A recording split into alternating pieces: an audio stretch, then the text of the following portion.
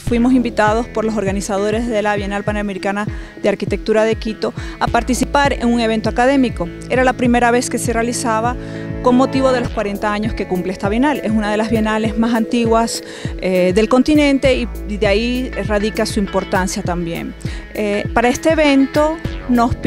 asignaron tres obras a analizar una mexicana y dos eh, panamericanas en Lima y en el propio Quito, Ecuador. Nosotros como universidades teníamos que postular tres obras mexicanas, las postulamos y después la organización nos enviaba tres obras a analizar. Además de mi persona, participaron otros dos profesores coordinadores, el doctor Francisco Mustieres y el doctor Henry Vicente, con, conjunto con estos 10 estudiantes que se animaron a realizar este reto de análisis crítico de obras de arquitectura me gustó como entender los diferentes puntos de vista que tiene la arquitectura y creo que este es uno de los principales este, objetivos que tiene este tipo de evento, poder dialogar con diferentes arquitectos, poder entender cuáles son los proyectos de otros estudiantes. Conocer estos puntos de vista ya de manera como crítica profesionalmente y decir nosotros nuestro análisis y cómo los arquitectos pues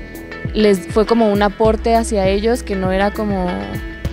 que tal vez a ellos hubieran visto como dar algo extra a su obra y pues ellos también se fueron súper contentos y nosotros más por haberlos conocido. Es una experiencia muy buena que como alumno eh, es bastante enriquecedor, aprendes distintas cosas que a veces no, no, ves en la licenciatura y participar con otros alumnos de distintos países y otras universidades es, eh, te llena mucho. Fue una muy buena experiencia porque conocimos a los arquitectos, pudimos presentar nuestro trabajo y además conocimos el trabajo de otras universidades y profesionales en el campo académico.